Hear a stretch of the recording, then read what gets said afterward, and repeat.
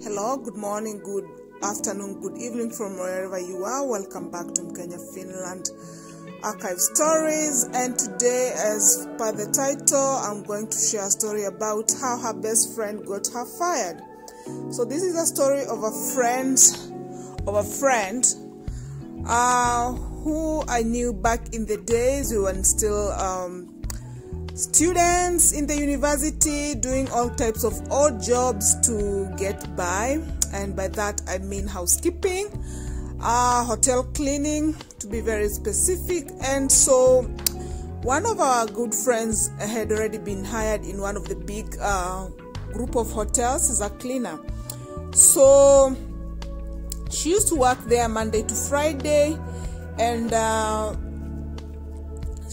she was actually in her final year, so she did not have so many units to attend. So she was able to um, work full time, and uh, Monday to Friday she would work. Sometimes over the weekend if there was too much work, but uh, mostly Monday to Friday she had um, okay salary since the expenses were quite low for someone who was paying um, rent in students' uh, apartment. So it was pretty much easy. It was uh, fun.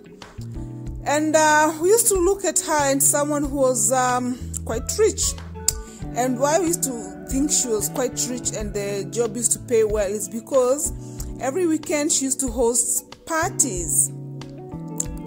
So i don't know what you guys uh, see every time you see a minibar or what minibars in hotels bring into your mind uh, but every time I see a minibar in a hotel, it reminds me of this girl.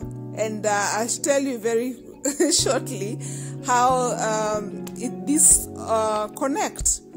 But yeah, every time I go into a hotel, anywhere, it doesn't matter.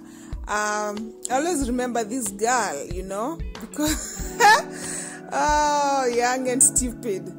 Yeah. So anyway, cut into the chase, this girl used to go and um, uh, you know when you're the cleaner, you're also the one who's supposed to check the minibar and uh, refill.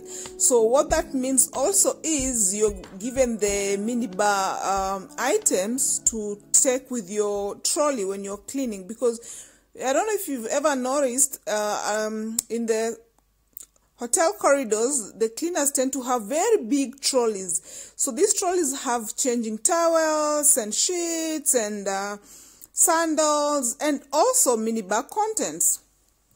So what this girl used to do, she used to like the manager was a bit careless. She was just giving uh, like she was trusting them. She would just give them the key to the store to go and pick the items for the minibar that they needed and so they would pick and this girl what she used to do she used to pick um, excess in excess of uh, what she doesn't need. Like she'd pick and um, for the ho- for the hotel room and also in excess. And what was excess she would not return back to the store and uh, nobody was following up for accountability. So they used to find way into her house and um, that's how she was able to organize all these big parties.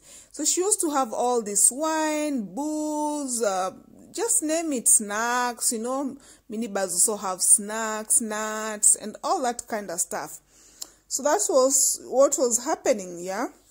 So this girl would bring so much booze and snacks and uh, call everybody over to her place and uh, ask uh, the other ladies maybe to cook a few things and bring along. And uh, yeah. So that was just perfect for you guessed it right house party. Yeah.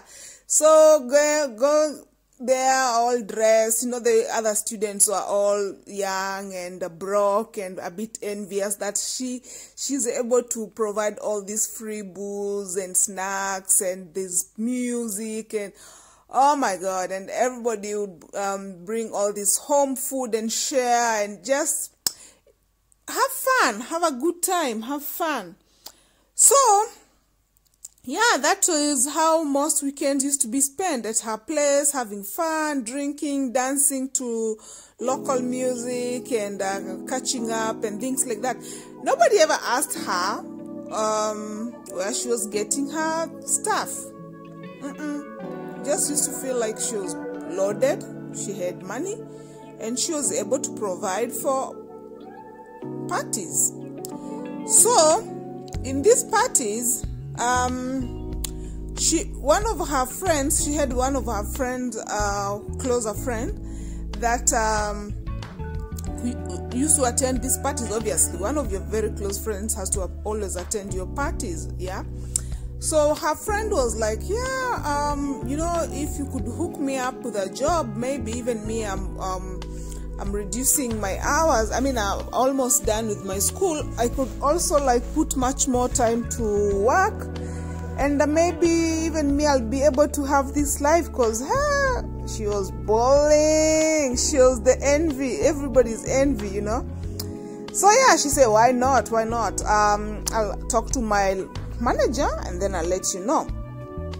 So she goes to work and talks to her manager, like, "Yo, I have uh, one of my sisters who needs a job," and then uh, the the the manager said, "No problem. Just bring your sister." Um, and no problem she can we can hire actually the hotel is doing very well we're getting too many guests yeah so the friend got a job and um, she started working there she also got close to the manager unfortunately or fortunately this uh, girl had already told the friend that she was uh, oh she told she showed the friend while at work that this is where i get my items so um, this is how to take them over to our bags and take them home.